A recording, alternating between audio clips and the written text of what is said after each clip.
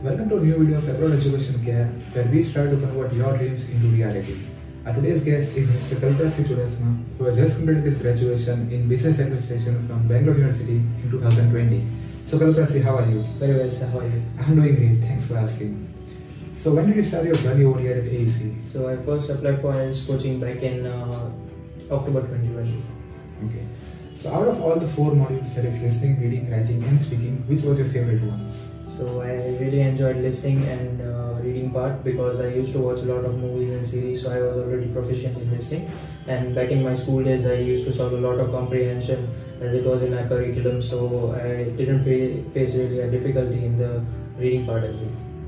What about the module that you find challenging? So the writing part I found the most challenging because uh, the writing part required to have used specific skills and also the vocabularies that needed to be instructed in the answers which we do not use in our normal day-to-day lives. Okay, So, who helped you out in this? So in during the in the writing part, Sir Dhruv Malik helped me a lot because uh, he used to give me provide me with vocabularies every day and he used to also ask me the new vocabularies, synonyms and acronyms and everything. So yeah, he really helped me.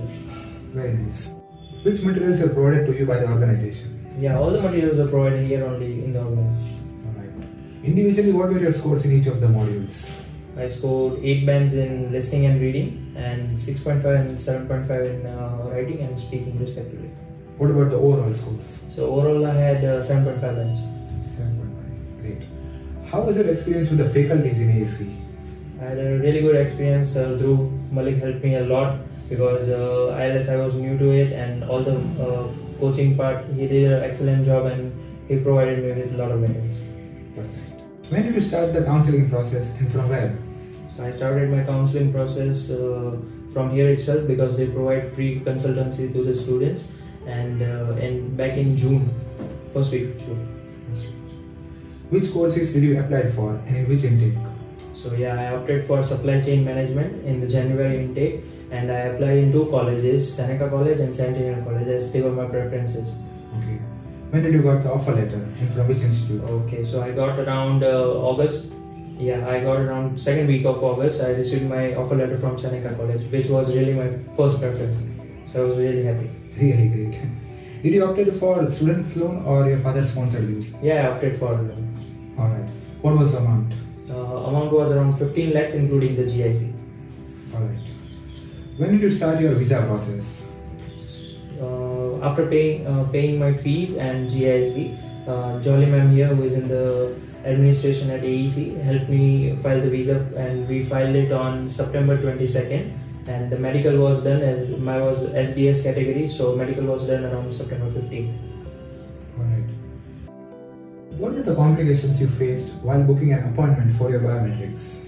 Yeah, getting an uh, appointment date was really difficult. I remember I struggled for a week, and finally, when I found it, it was around uh, 3 a.m. in the morning. Yeah. Oh, that must be tedious, right?